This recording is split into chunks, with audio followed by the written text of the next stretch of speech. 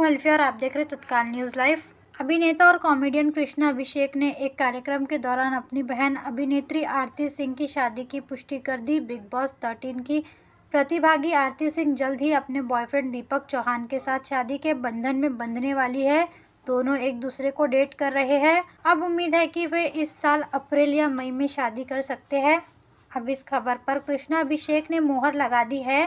कृष्णा ने खुलासा किया कि आरती अपने बॉयफ्रेंड दीपक चौहान से शादी करने जा रही है। वहीं शादी के बारे में अधिक जानकारी मांगने पर कृष्णा ने संकेत दिया कि बाद में इस बारे में आधिकारिक घोषणा होंगी। इसके साथ ही उन्होंने अपने मजाकिया अंदाज में कहा कि उन्हें उम्मीद है कि आरती खर्चों पर नियंत्रण रखेंगी।